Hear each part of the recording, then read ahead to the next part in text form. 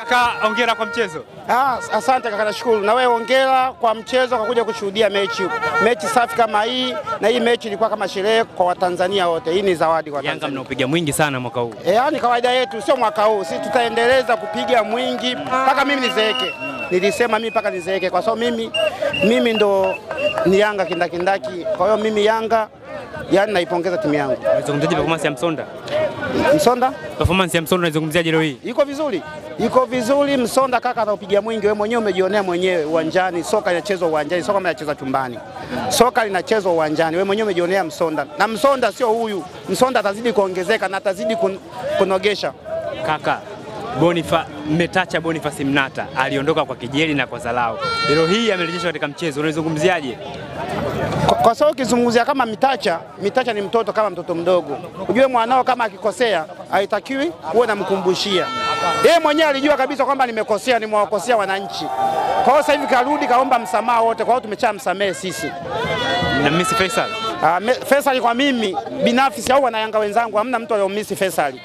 Labda mimi nimemmisi Mayele kwa, kwa mechi ya leo, nimeanza kujiuliza kwa nini hajapangwa mchezaji wangu, lakini jibu ninalo kwamba tuna mechi ya kimataifa hapa nyuma yatufuata. Kwa Faisal aende. Ah, Faisal kwa mimi niko huru, hata wamuuze tununue baskeli.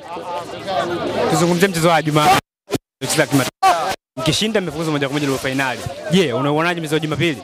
Mechi ya Jumapili mimi kwa sababu kwanza matokeo ninayotangia hapa nyumbani, kwa hiyo kule naenda kumalizia tu.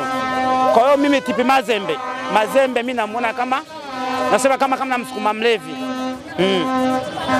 Waarabu hao wanakuja nyumbani, mmejipanga kupambana nao?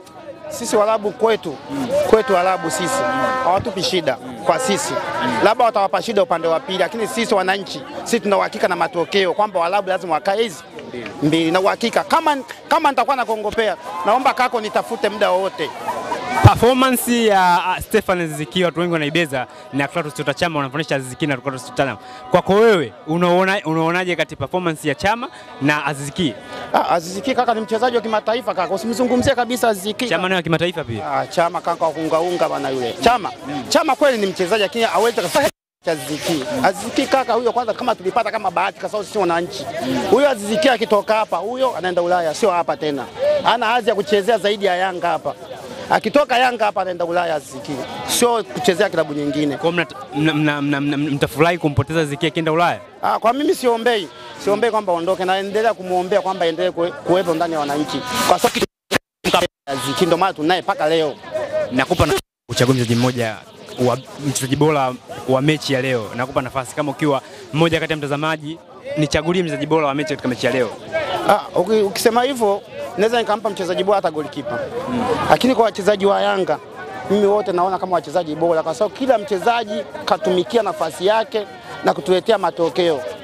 Nasreddine Nabi sababu zake tatu za kipindi cha kwanza zimerudisha magoli. Je, unamzungumziaje Nasreddine Nabi kwa performance anazoonyesha katika sababu zake?